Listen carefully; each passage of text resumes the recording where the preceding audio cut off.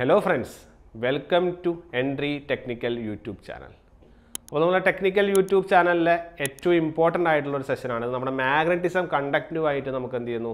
നമ്മൾ ചെക്ക് ചെയ്ത് പോകണം ഓക്കെ വളരെയേറെ ബ്യൂട്ടിഫുൾ കൺസെപ്റ്റുകൾ നമ്മൾ ഈ ഒരു സെഷനിൽ ഡീൽ ചെയ്യുന്നതാണ്. അപ്പോൾ നമ്മുടെ ഇമ്പോർട്ടന്റ് ആയിട്ടുള്ള ഈ ഒരു സെഷൻ നിങ്ങൾ ഒരിക്കലും മിസ്സാക്കരുത് നമുക്ക് എന്ത് ചെയ്യാം? നമുക്ക് അതിന്റെ ആദ്യത്തെ ക്വസ്റ്റ്യനിലേക്ക് എന്ത് ചെയ്യാം? കടക്കാം. ക്വസ്റ്റ്യൻ ഇതാണ് unit of M M F എന്നുള്ളതാണ് അല്ലേ? അപ്പോൾ നമുക്ക് എം എം എഫ് എന്താണ് എന്നുള്ള കൺസെപ്റ്റാണ് നമുക്ക് ആദ്യം പറയേണ്ടത് അല്ലേ? എം എം എഫ് എന്ന് പറയുന്നതിന്റെ ഫുൾ ഫോം നമുക്ക് നോക്കാം. That is nothing but your magneto motive force അല്ലേ? മാഗ്നറ്റോ മോട്ടീവ് ഫോഴ്സ് ആണ് ഇത് മാഗ്നറ്റോ മോട്ടീവ് ഫോഴ്സ് ഇതേ കൺസെപ്റ്റിൽ ഇതേ കൺസെപ്റ്റിൽ നമ്മൾ ഇതിപ്പോൾ നമ്മൾ എം എം എഫ് എന്ന് പറഞ്ഞാൽ ഏത് കൺസെപ്റ്റാണ് മാഗ്നറ്റിക് ഫീൽഡിന്റെ കൺസെപ്റ്റാണ് അല്ലേ? ഇതേ കൺസെപ്റ്റിൽ ഇലക്ട്രിക് ഫീൽഡ് വേറൊരു ക്വാണ്ടിറ്റി ഉണ്ട്. അതെന്താണ്? അത് ഇ എം എഫ് ആണ്.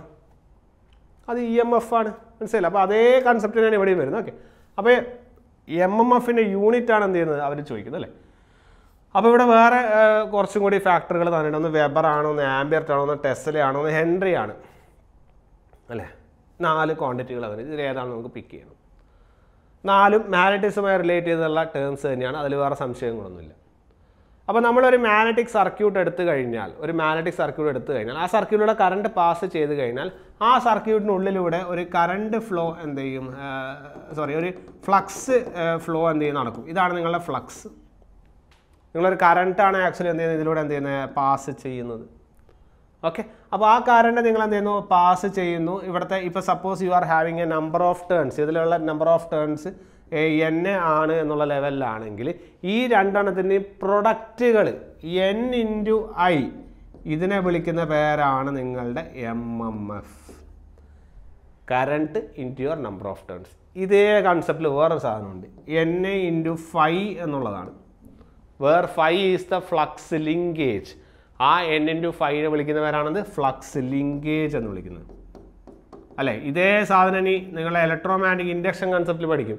ഈ എൻ ഇന്റു ഫൈവിനെ ഞാൻ എന്ത് ചെയ്യുന്ന ഒരു ടൈം കൊണ്ട് നമ്മൾ എന്ത് ചെയ്യുക ഡിഫറൻഷിയേറ്റ് അപ്പോൾ D phi by D T N into D phi by D T ഇതാണ് നിങ്ങളുടെ എന്ത്? ഇ എം എഫ് ക്ലിയർ ആയില്ലേ? ഇതാണ് നിങ്ങൾ electromagnetic ഇൻഡക്ഷനിലെ concept into D phi by D T എന്ന് പറയുന്ന കൺസെപ്റ്റ് അല്ലേ? അപ്പോൾ ഇത്രയും കൺസെപ്റ്റുകൾ നമുക്ക് എന്ത് ചെയ്യാം? ഇത് കിട്ടും. അപ്പോൾ എം എം എഫ് എന്ന് പറയുന്നത് എന്താണ്? യൂണിറ്റ് എന്ന് പറയുന്നത് എന്താണ്?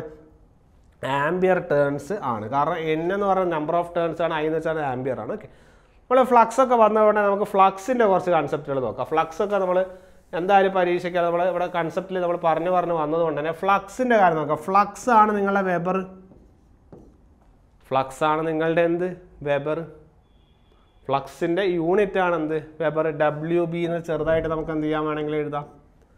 ഈ ഫ്ലക്സിന് ഒരു ഫിക്സഡ് ഏരിയ കൊണ്ട് നിങ്ങൾ ഡിവൈഡ് ചെയ്യും phi divided by A phi divided by A ഇതാണ് നിങ്ങളുടെ capital B and your capital B is divide as flux density capital B നിങ്ങൾ ഡിഫൈൻ ചെയ്യുന്നതാണ് ഇത് flux density so your flux density is equal to phi by A and the unit is ഫ്ലക്സിന്റെ unit എന്നാണ് weber ആണ്.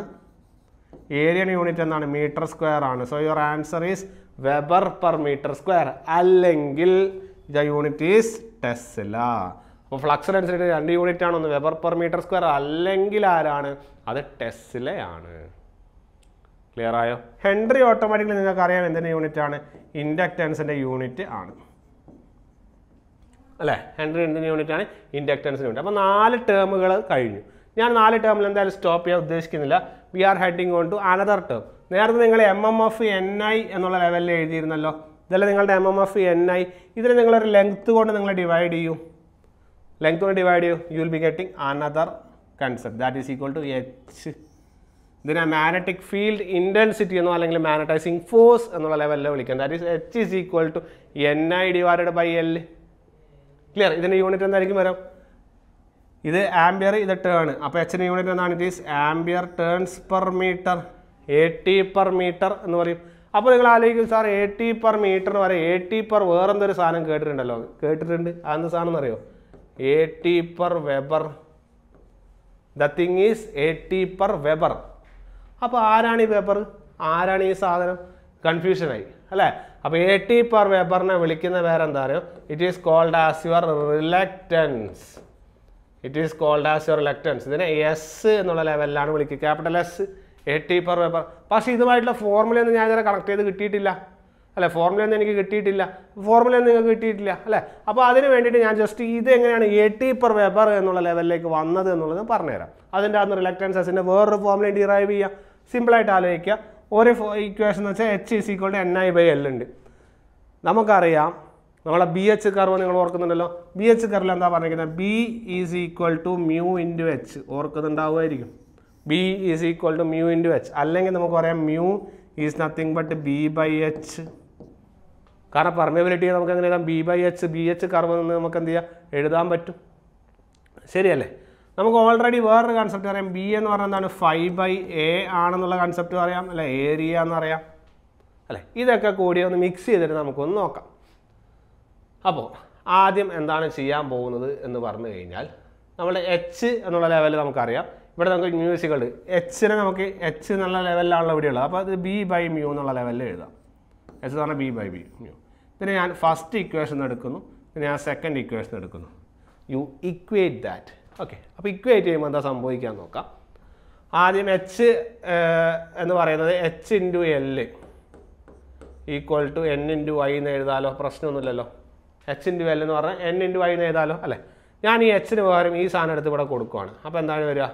B by mu into L is equal to N into I പ്രശ്നമൊന്നുമില്ലല്ലോ. ബിക്ക് പകരം ഞാൻ അത് കൊടുക്കുവാണ്. എന്താണ്? ഫൈവ് ബൈ എ അപ്പോൾ phi by A into mu into L is equal to N into I അല്ലേ? Phi divided by A into mu into L is equal to N into I ഇനി എന്താ ചെയ്യാൻ പോകുന്നത് നിങ്ങൾ നോക്കിക്കോളൂ. You are just rearranging that ഈ phi മാത്രം ഇവിടെ എഴുതുവാണ്. Phi is equal to N I അവിടെ തന്നെ കടന്നോളൂ. N I divided by L divided by A into mu this is your conclusion അപ്പോൾ വിചാരിക്കും ഇതെന്താ കൺക്ലൂഷൻ ഇതെന്താ ഇത്ര മാത്രം പറയാനുള്ളത് അല്ലേ? ഒന്നുമില്ല. സിമ്പിളായിട്ട് വെച്ചേക്ക് ആരാ ഫൈ ഫൈ ആരാ? ഫൈ നിങ്ങളുടെ ഫ്ലക്സ് ആണ്. ആരാണ് എൻ ഐ എൻ ഐ ആണ് നിങ്ങളുടെ എം എം എഫ് അപ്പോൾ L by A mu L by A mu ആരാണെന്നറിയോ L by A mu ആണ് നിങ്ങളുടെ റിലക്റ്റൻസ് അപ്പോൾ ഇനി ഒന്നും കൂടി ഒന്ന് റീഅറേഞ്ച് ചെയ്ത് നോക്കിയേ. ഇനി ഒന്നും കൂടി റീഅറേഞ്ച് ചെയ്ത് നോക്കിയേ. Flux phi is equal to N I divided by L by A into mu ഞാൻ പറയുന്നു ഇതാണ് നിങ്ങളുടെ ഫ്ലക്സ് ഇതാണ് നിങ്ങളുടെ എം എം എഫ് ഇതാണ് നിങ്ങളുടെ reluctance this is also an important relation flux equal to M M F divided by your reluctance ഇനി നിങ്ങൾ റിലക്റ്റൻസ് ഒന്ന് മാറ്റി ചെയ്ത് reluctance S equal to M M F by flux M M F എന്ന് പറഞ്ഞാൽ ആരാണ്? എ ടി ഫ്ലക്സ് ആരാണ്? Weber അല്ലേ? എ ടി പെർ വെബർ ഇതാ യൂണിറ്റ് ആയിന്നേ യൂണിറ്റ് ആയി എന്താണ് എ ടി പെർ വെബർ ഇനി റിലക്റ്റൻസ് സെപ്പറേറ്റ് ആയിട്ട് ഇക്വേഷൻ എഴുതാം. L divided by A into mu ഇതും പഠിച്ചു വെച്ചേക്ക്. Where mu is equal to mu zero mu R mu എന്ന് പറയുന്നത് വെറുതെ എഴുതണ്ട. മ്യൂ സീറോ മ്യൂ ആർ ആണ്. അപ്പോൾ നിങ്ങളുടെ എസ് എന്ന് പറഞ്ഞാൽ നിങ്ങൾക്ക് എന്ത് ചെയ്യാം? L divided by A into mu zero mu R എന്നുള്ള ലെവലിലും എഴുതാം. എന്താ എസ്സിന് ടേംസ് വന്നിട്ടോ. കണ്ടില്ലേ? S equal L by A mu mu zero mu R പല തരത്തിലുള്ള ഫോർമുലകൾ വെച്ച് ഡിഫൈൻ ചെയ്തൂടെ. ഇലക്ട്രൻസ് എസ് എന്ന് പറഞ്ഞാൽ നമുക്കൊന്ന് പറയാം. എ ടി പെർ വെബർ എന്ന് പറഞ്ഞൂടെ. Flux equal to M M by പറയാമല്ലോ പറയാലോ.